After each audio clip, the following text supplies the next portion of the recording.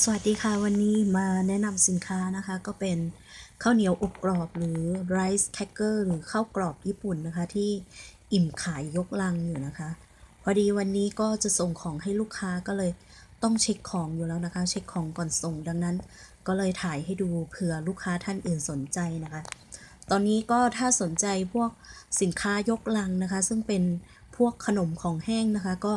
ทักมาถามในไลน์ได้นะคะว่ามี ลิตภัณฑ์อะไรขายบ้างนะคะ อิมก็จะส่งข้อมูลให้ในไลน์นะคะ พร้อมกับราคานะคะสำหรับอันนี้อิมก็ขายแบบยกลังนะคะ ซึ่งมันจะเป็น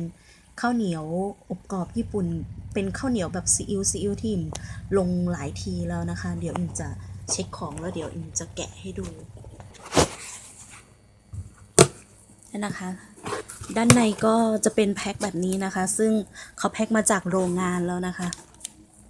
แล้วก็เขาจะคละมามันเป็นแบบรวมนะคะ ดังนั้นมันจะมีอยู่หลายแบบนะคะ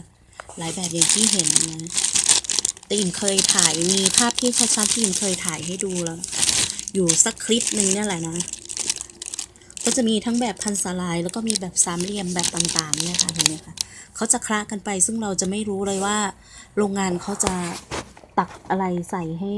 ให้ขนาดไหนตรงเนี้ยอิมจะไม่รู้นะคะ เพราะว่า เขาจะแพ็คมาอย่างเงี้ยเขาจะขายยกลังอย่างนี้ที่ร้านส่งนะคะ แล้วก็สำหรับตอนนี้ก็มีแบบพันสาลาย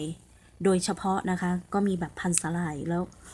เรื่องราคาลองถามอิมได้นะคะในไลน์นะคะ แล้วก็ท่านที่สนใจขนมอย่างอื่นก็ลองทักทักถามมาก่อนนะคะ เดี๋ยวจะลองหาให้นะคะค่ะก็ขอบคุณทุกท่านที่ติดตามและอุดหนุนสินค้าต่างๆ ในร้านอิมค่ะ